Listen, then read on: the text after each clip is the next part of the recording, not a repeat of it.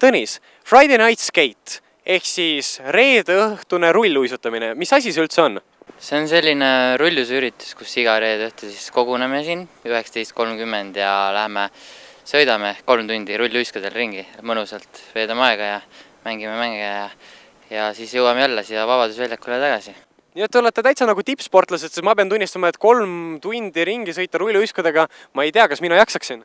ei, see ei ole üldse nii keeruline ega raske siin äh, meil kaasa sõita, et kõik, keegi ei ole meil väga tippsportlane siin, mõned üksikud on ja kõik võivad tulla proovima sõita kui kaua te üldse seda teinud olete? mina olen rulluisutanud kaksteist aastat, aga Friday Night Skate'iga olen seotud alates kahe tuhande teisest aastast. Ja kuidas ja kus saada üldse informatsiooni selle kohta, kuidas tulla teiega koos rulluisutama ja mida selle jaoks vaja on? Äh, informatsiooni saab äh, www.skate.ee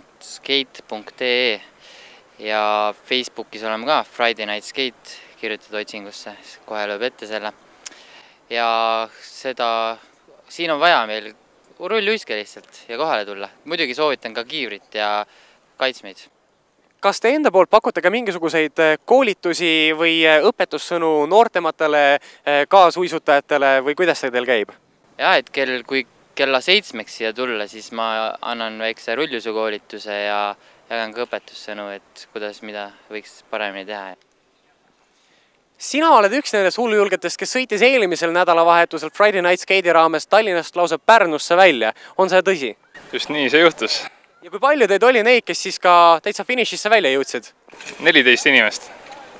kas, äh, kuidas teie tee üldse kulges ja kust tekkis selline mõte, et võiks, äh, see on ligi saja kahekümne kahe kilomeetrine distants, mis tuleb siis ületada ju? mõte tekkis juba eelmine aasta, et siis me ei saanud seda üritust kuidagi kokku ja see aasta me tegime talle ära ja kas te sõitsite siis täitsa mööda maanteed ja hakkasite, kust te üldse alustasite? no põhisõitu hakkasime Laagri Maximarketi eest ja tõesti mööda maanteed. alguses oli hea, seal on lai eraldusriba, aga pärast jah, kui tee läks kitsamaks, siis autotee peal. Teie olete siis see nii-öelda lihtrahva esindaja, kes lihtsalt võttis kätte ja tuli üks päev Friday Night Scale'ile, nagu ma aru saan? noh, see üks päev oli küll vist juba mingi viis aastat tagasi, aga noh, võib ka nii öelda, et et see ikka mõned on palju rohkem usutanud kui mina ja hakkas nii meeldima, et nüüd on niisugune igareedene meelelahutus või? No mitte päris iga reede, aga kui ikka midagi muud ees ei ole ja linnas olen, siis saab tuldud